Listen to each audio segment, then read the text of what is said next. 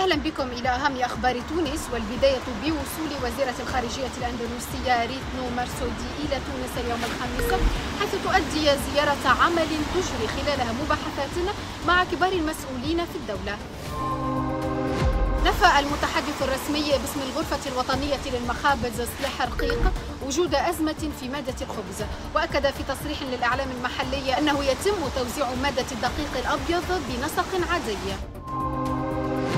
سيطرت وحدات الحماية المدنية على حريق ضخم نشب مساء أمس في عمارة سكنية وإدارية بولاية صفاقس بحي شاكر وفق ما أفاد به المدير الجهوي للحماية المدنية بصفاقس في تصريح لموزايك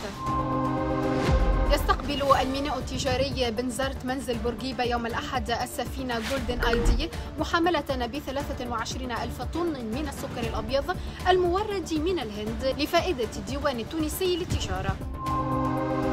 تمكنت الوحدات الأمنية أثناء تأمين الحدود البحرية التونسية الليبية من حجز 190 صفيحة و130 قطعة مختلفة الأحجام من مخدر القنب الهندي عائمة قرب ميناء الكتف ببن دردان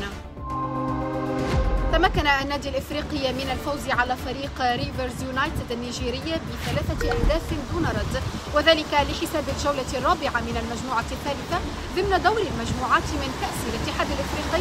لكرة القدم. نهاية النشرة وإلى اللقاء.